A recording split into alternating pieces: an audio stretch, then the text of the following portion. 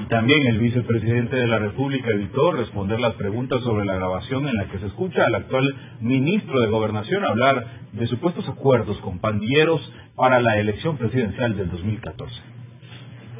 Hay que dejar que funcionen las instancias del Estado. Y ella es lo que va a conducir y garantizar que estos procesos eh, puedan generar ciertas dinámicas este lunes intentamos hablar con el funcionario, pero nunca se detuvo a atender a la prensa y pidió esperar los resultados de las investigaciones que lleva la Fiscalía. De esta forma, el vicepresidente evade el tema y se limita a hablar del trabajo que está haciendo el gobierno.